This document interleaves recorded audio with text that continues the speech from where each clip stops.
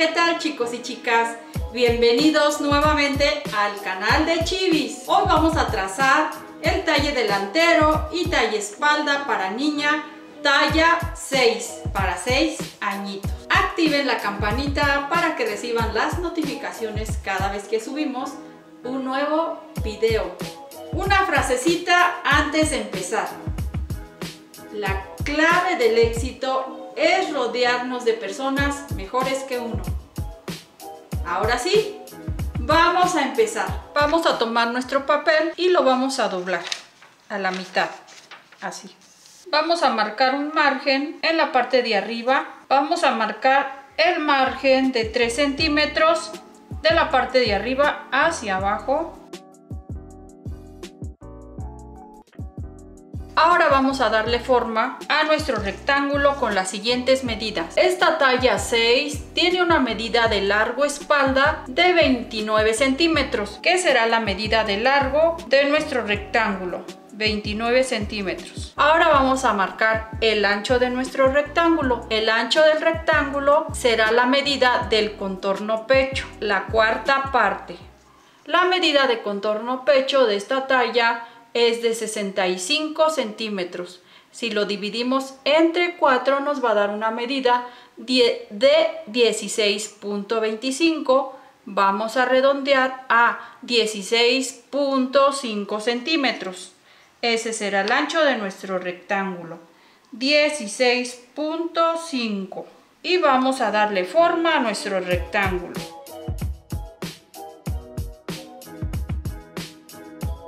Aquí tenemos nuestro rectángulo, ahora sí vamos a empezar a trabajar para trazar el trazo espalda. Y vamos a poner aquí un puntito que será el punto de inicio para empezar a trabajar en esta parte de aquí. Y nuestra primer medida va a ser cuello sobre horizontal. Vamos a marcar en esta línea hacia adentro la medida de cuello sobre horizontal y tenemos una medida de 6 centímetros. Aquí voy a marcar un puntito. Ahora la siguiente medida va a ser cuello sobre vertical. En nuestra línea vertical vamos a marcar hacia abajo un centímetro y medio. Ahora vamos a unir estos puntos y vamos a darle forma a nuestro cuello.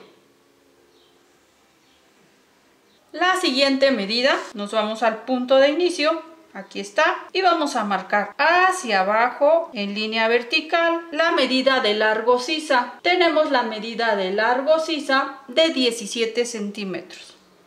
Y vamos a marcar un puntito. Podemos escuadrar o marcar también en, el, en la línea de enfrente la misma medida que marcamos aquí que son 17 centímetros. Y ahora sí vamos a unir estos puntos sobre esta misma línea vamos a medir mitad ancho espalda. Mitad ancho espalda son 14 centímetros. Marcamos aquí un puntito y nos vamos a llevar esta línea hacia arriba. Sobre esta línea vamos a marcar inclinación hombro. Vamos a marcar hacia abajo 3 centímetros, que es la medida de inclinación hombro. Ahora sí, vamos a unir este punto con nuestro punto del cuello y vamos a unir estos dos puntos así. Vamos a marcar la medida de largo hombro. Largo hombro son 9 centímetros. Ahora medimos esta línea, marcamos la mitad y vamos a entrar medio centímetro. Así. Ahora sí vamos a darle forma a la sisa. Ahora nos iremos a la línea de largo espalda y vamos a marcar la cuarta parte de contorno cintura. Esta talla tiene un contorno de cintura de 56 centímetros. Vamos a dividirlo entre 4 y marcaremos la cuarta parte que son 14 centímetros. 14 centímetros y vamos a unir estos dos puntos hasta la línea de sisa. Ahora sí, ya tenemos aquí nuestro trazo talle espalda. Vamos a recortar.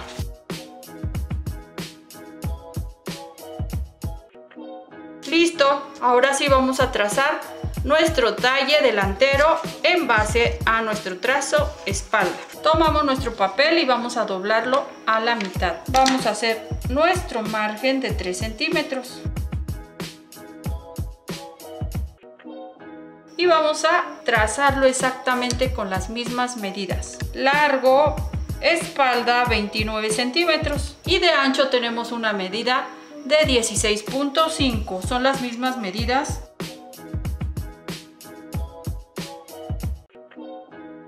Ahora sí, vamos a tomar nuestro trazo espalda, vamos a colocarlo dentro de nuestro rectángulo y lo vamos a dibujar.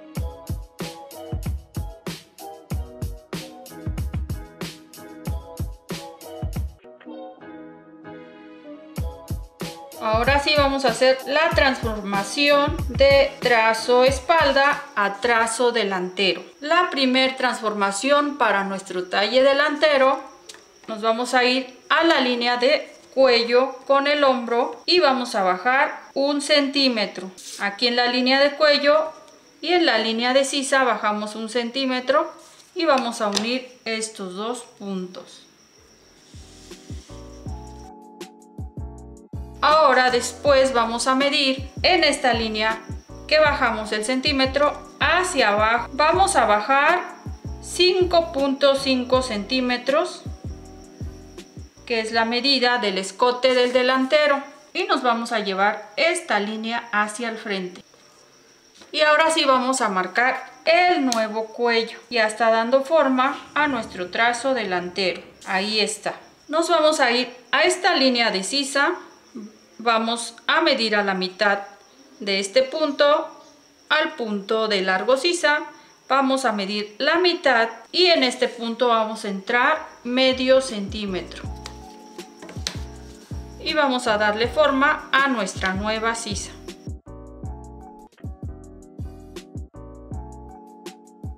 Muy bien, ahora sí vamos a recortar.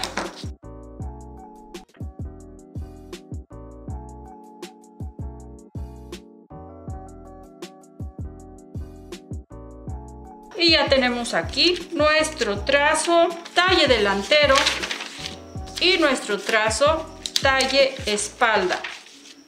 Ahora vamos a trazar la manga. Tomamos nuestro papel, lo doblamos a la mitad y vamos a marcar nuestro margen 3 centímetros hacia abajo sobre esta línea de nuestro papel. Y las medidas para esta talla de manga van a ser las siguientes. Largo manga 38 centímetros. Esa va a ser la medida de largo de nuestro rectángulo.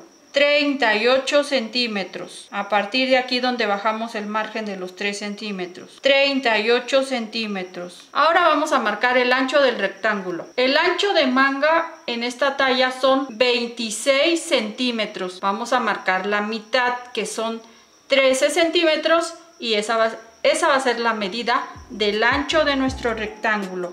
13 centímetros. 13 centímetros marcamos y ahora sí vamos a cerrar nuestro rectángulo.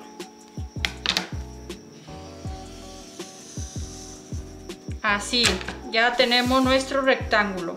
Ahora vamos a empezar de nuestro punto de inicio. Aquí está. Y vamos a marcar la siguiente medida que es profundidad curva superior son 10 centímetros. Esta medida también es conocida como copa de manga. Marcamos 10 centímetros al frente y vamos a unir estos dos puntos. Y ya tenemos aquí nuestra primer medida de profundidad curva superior. Nuestra siguiente medida, nos vamos al punto de inicio y vamos a avanzar en la línea sobre horizontal.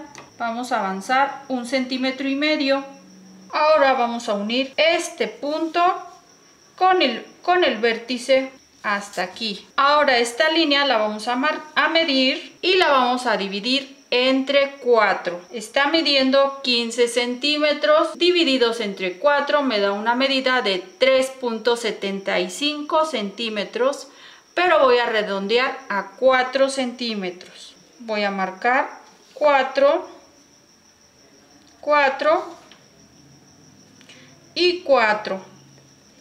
Así, no importa que aquí sobre poquito, no pasa nada. Nos vamos a nuestro primer punto y voy a subir un centímetro y medio. En el último punto o marca voy a bajar un centímetro y medio. Y ahora sí, le voy a dar forma a la sisa de mi manga. Así voy a bajar por el punto del centro. Doy vuelta a mi sistema curvo y voy a marcar la última línea así curviadita. Y va a tener una forma de una S. Incluso podemos hacerlo así con nuestra manita. Le vamos, bajamos en el último punto y le damos forma. Ahora sí la medida que sigue son largo codo largo codo son 25.5 y marco 25.5 al frente. Les recuerdo que estoy utilizando una guía de medidas una tabla de medidas. Esta tabla de medidas pueden encontrarla en mi página chivisernandez.com ahí van a encontrar diferentes tablas de medidas talle espalda talle delantero manga tabla de medidas pantalón, falda. Así que no se me preocupen, vamos a trabajar con esas tablas de medidas industriales. Ahora nos vamos a ir a la línea de largo manga, que es esta. Y aquí voy a marcar el contorno puño. Esta talla tiene un contorno puño de 16.5 centímetros. Voy a marcar la mitad, que son 8.25 pero vamos a redondear a 8.5 aquí marco 8.5 que es la mitad de 16.5 pero estamos redondeando. Ahora sí vamos a unir esta línea. Este es el costado de mi manga. Ahora sí vamos a recortar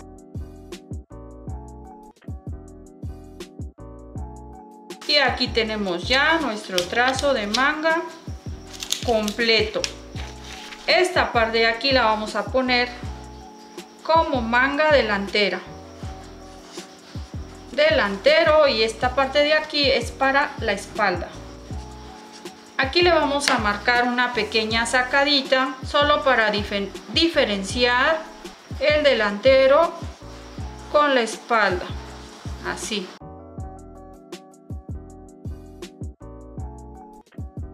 Más adelante iremos viendo alta costura, así que no se me preocupen. Cuando ustedes conozcan los trazos básicos, les va a ser mucho más fácil cuando entremos a la alta costura. Muy bien, ya tenemos aquí nuestro trazo manga, nuestro trazo delantero y nuestro trazo de espalda. Ya ven que es súper fácil está trazar, es súper bonito. Espero les haya gustado mucho este video, no olviden darme like, compartir y visitar mi página chivisernandez.com en donde encontrarán tablas de medidas. Y los espero para el próximo video. Bye!